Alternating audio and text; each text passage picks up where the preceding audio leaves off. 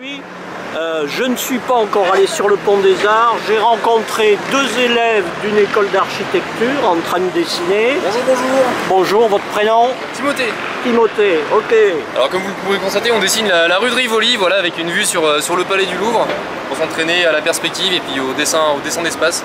C'est un exercice qu'on fait souvent, à peu près euh, une fois par semaine, une après-midi par semaine, dans le cadre de nos études d'architecture. Voilà.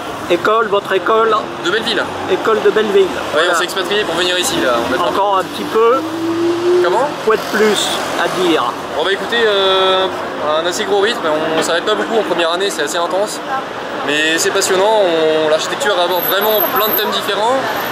C'est riche, varié euh, et très dense, voilà. Et très plaisant. Pas trop difficile de travailler au milieu de la pollution urbaine Ah oui, c'est un peu l'inconvénient du lieu là, beaucoup de bruit, là, comme on entend. là.